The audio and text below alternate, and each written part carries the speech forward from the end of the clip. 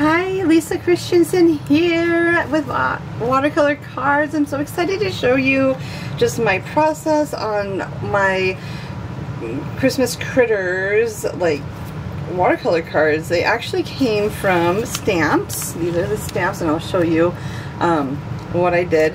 They are from Colorado Craft Company and the illustrator's name is Anita Jeram and she is a children's book illustrator and I just love her.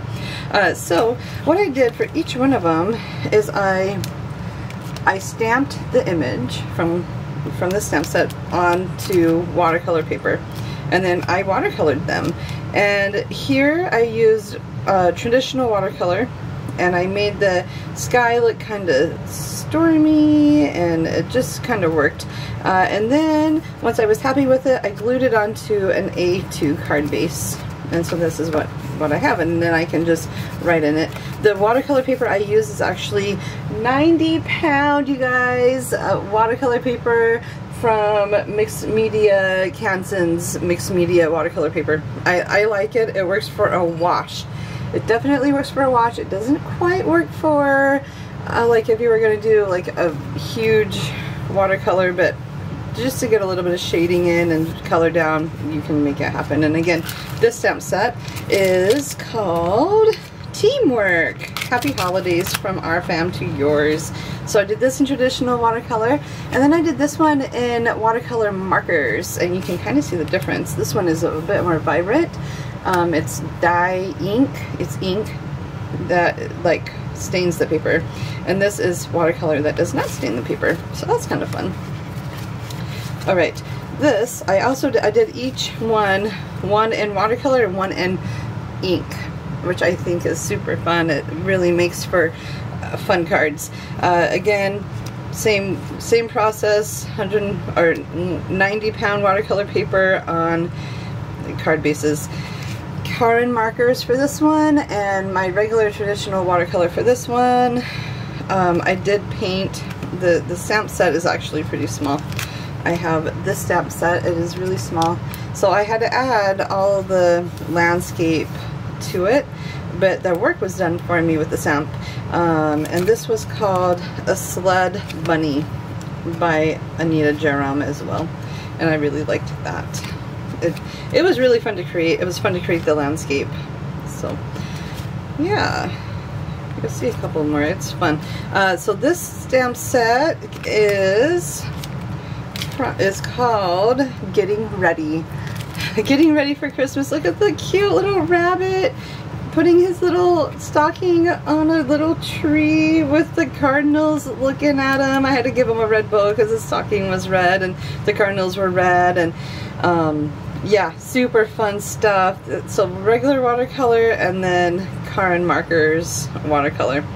And I just love the sentiment that says, I will honor Christmas in my heart and try to keep it all the year by Charles Dickens. What a fun thing to remember. Uh, so anyways, I just fell in love with this bunny rabbit. I hope you guys do too. It's so cute. Uh, and again, there's other different, I love getting ready for this Christmas sentiment and the stockings were hung, but I really like the Charles Dickens sentiment, so I used it. Okay, this is one of my favorite stamp sets. This is called Hats, Christmas Hats. it's so fun. Oh my gosh, Colorado Craft Company has done, you could have done, like this is an otter, this is a mouse, this is a porcupine. You got some cute little bugs even, but I like the dog and the cat. And so what I did, um, is with this background I did a wet into wet. I used indigo because it's a very dark uh, like winter's night color. And then I I know that orange colors pop against a blue. So I did a like a golden doodle type dog and it works really perfect. And I just said happy paw a days it's so fun. And then I die cutted um, a frame to go around it in silver paper and it was that simple. And I did that in watercolor and then I did this in Karin markers and I just kind of painted in the trees and just kind of like let it do its thing. Uh, so both are super cute. I don't know which one you like. If you have a preference, I'd love to hear. But those were fun. And then along with the same stamp set, the, the Santa or the Christmas hats, I, I, I used the dog, the cat, and the porcupine. And I did one in watercolor and one in Karin markers.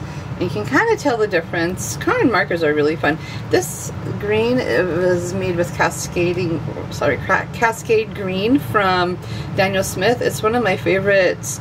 You can kind of see the different colors. There's some turquoise and there's some brown or some gradation, uh, some granulation. It's just a really pretty pigment. I love the turquoise and the yellows that come out of it. And then again for for the Karin markers it's so much fun and you can tell that there's someone to wet and then I went back in and just colored it in a bit more it's they're so fun to play with these cards are so fun and then did I do one more oh nope so two two Christmas cards out of this set. That was well worth it. I always like it when I can get two cards or yeah two different cards out of the same set. Alright now this is the same thing. This set is all it is all is bright and it has cats and it has dogs.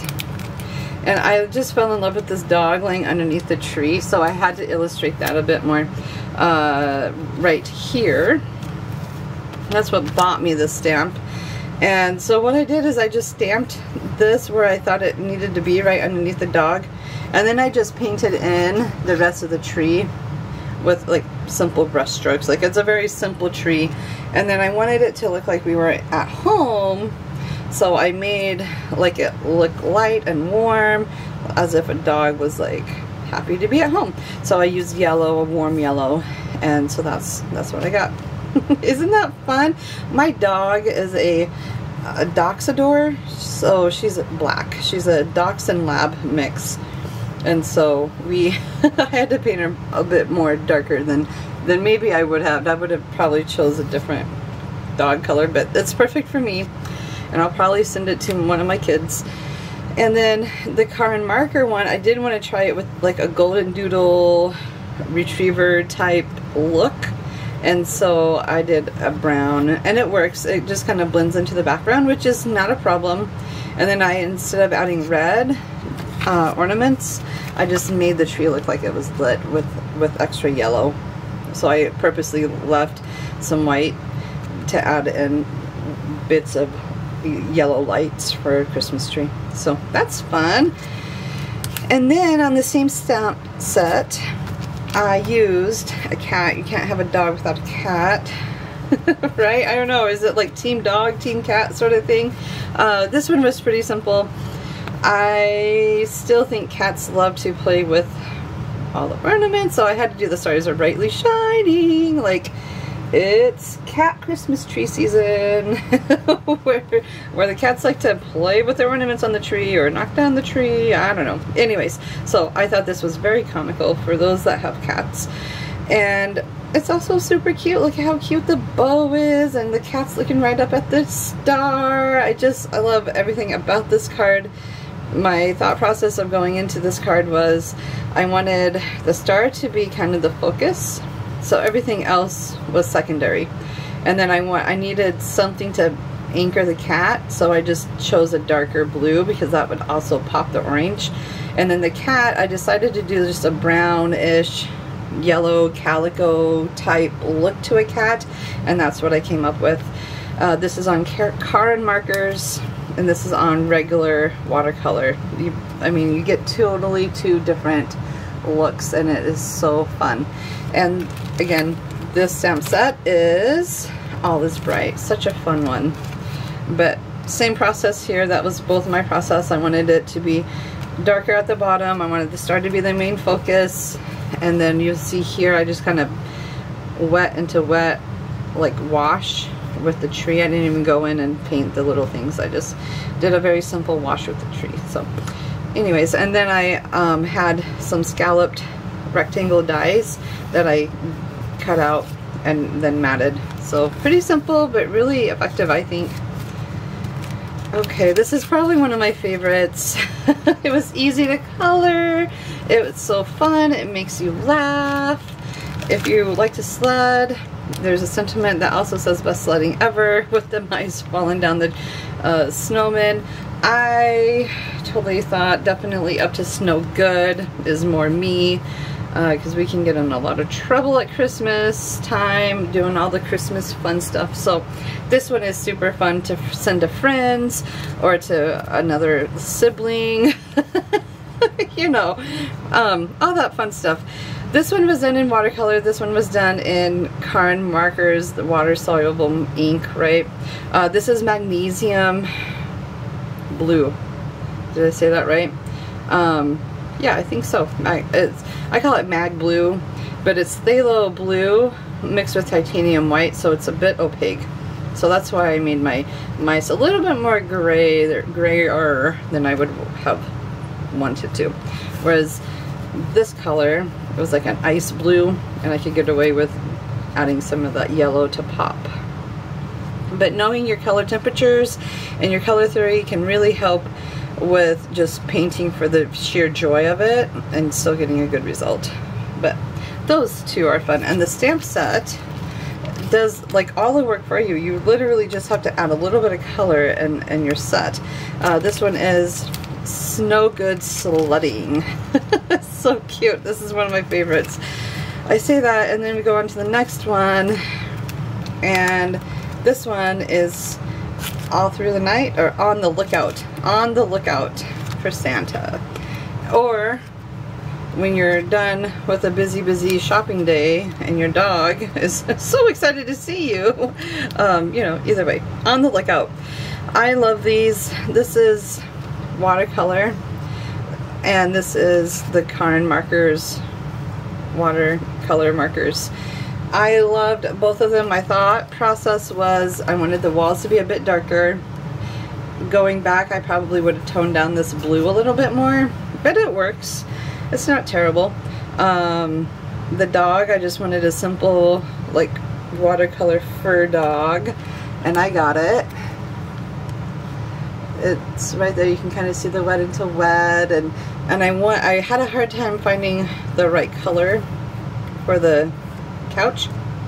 I went with a muted green because if I did too bright, then the stocking wouldn't have worked. And if I did too neutral, then the then the curtains may have looked weird. Um, it works. It's it's it's still a work in progress. I don't mind the colors. I think I prefer maybe the darker dog. Again, this is my dog, Maisie. Uh, she she's a black dachshund lab mix and so super cute but um, anyways there's that. And then for the third one I kind of was like I don't know about the yellow it's a frosty night maybe I'll do black and I do actually like the darker window with the background so it looks like it's just part of the card which is what I like. So I would I would definitely do this color scheme again um, uh, more so than the other ones, but this still works. They all three work. Just which one works the best, I don't know. This one works the best, actually.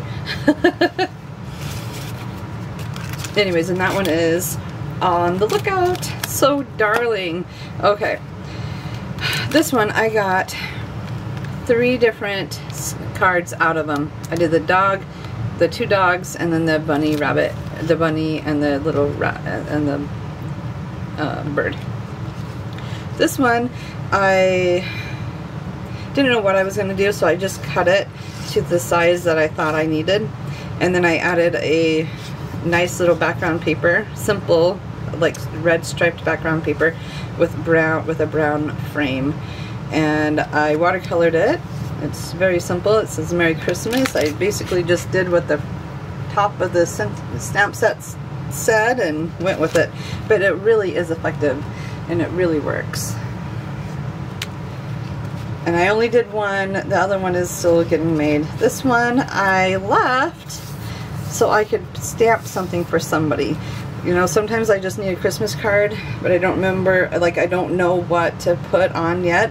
So I'll leave a lot of space for a sentiment. Maybe it will literally say Merry Christmas or Happy Holidays, but I don't know yet. So and none of these stamp none of these sentiments were calling to me so I decided to just leave them blank but here's the watercolor one And here is the Karin marker one.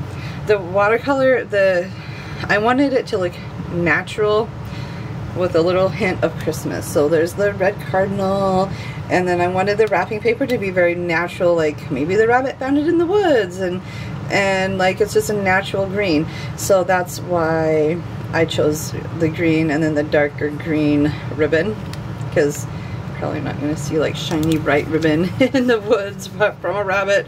Anyways, it goes on with the whole theme and feel of it and it works. Alright, so then I go on to my cute little doggy one and it just says family is the greatest gift. Uh, because we adopted our dog this, uh, well it was March, but still I think that this is so cute. This would be a great adoption dog card or it could be a great card like for just a family that loves doggies. It's just so cute. Um, anyways, I know that someone will know that, oh, you know, we got a dog and um, family's the greatest gift because we have a dog. Anyways, it makes sense in my mind, in my Lisa world. So, anyways, watercolor, Karin markers, and the stamp set is Christmas presents. Oh, that's a cute name for it because you have all you have the bird and the bunny and the doggies with the Christmas presents. So cute. Anyways, those are fun. And I just used a die to cut out and layer. I did, there's three layers to this card. And then the last one, the stamp set is somewhere, but I cannot find it. It's small like this, and it just has, it literally has this as a stamp, but it's on uh, Colorado Crafts website. You can still order it. I just can't find it. Anyways, it's super cute. I love this little robin. I always, uh, we get robins in Iowa throughout the whole year. So it used to be maybe a Christmas thing or not a Christmas thing, but robins come to our house like every year. So I decided to do a robin. I wanted the reds to match the present um, and I wanted a simple blue background. Uh, but I love this Mother Teresa verse. It just says it's not how much we give, but how much love we put into giving. And I think I think this is a perfect card to give to a friend or to a neighbor, someone that you just adore. And then this one is sometimes the magic of Christmas is found in the little things and that's the sentiment that goes with this stamp set. The Mother Teresa one goes with oh they both go with this bunny rabbit one. Um, so both of these sentiments go with the bunny rabbit. Uh, so anyways uh, super cute stuff. I die cutted this out. It was a scalloped square. And then I added the frame. And then the, the, the just the regular brown background paper. So anyways, I hope this kind of helps and gives you an idea of, okay, this is watercolor marker and this is watercolor. Uh, there, there's a difference. I can't wait to show you some of my techniques that I've used with these. Uh, they're all the same, but just different mediums. So you can use same techniques with different mediums and really get some fun stuff. So I'd love to know what your favorite card is. Maybe it's maybe it's just a simple one like with the bunny rabbit. I don't know. Those are so cute. I did have a lot of fun making these uh, landscape scenes, so that was fun. Uh, but anyways, lots of fun. I'm going to share with you some more later, but for this video, it's just an overview of how I how I do my process. So anyways, enjoy, keep painting, and we'll see you next time. Bye!